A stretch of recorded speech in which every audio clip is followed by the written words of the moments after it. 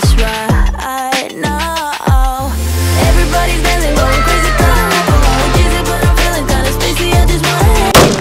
Sensation. Welcome you guys back to my channel. In today's video, we are looking at the Fortnite Crew Pack. I have just redeemed it.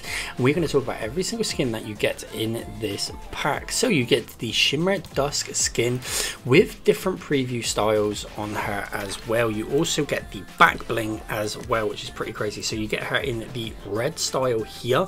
You get her in the gold, which looks super dope get her in the crimson or like it's rather like a I don't even know what they even call it it's like a pearlescent color. You get here in the blue which I love the blue color on that. And you get her obviously in the galaxy. They seem to be doing a lot of galaxy stuff. Now the same is for the back blings as well. You can get it all in the back bling color too.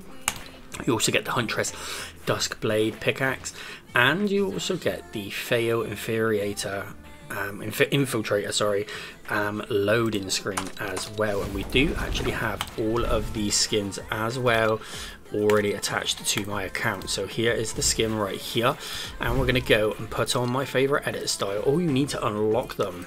Okay, so I'm not too sure how you unlock them. I think we probably have challenges that we need to complete to get that. We're going to go and see if we've got the back bling for her as well. If we go into recent, you can see that we've got the back bling.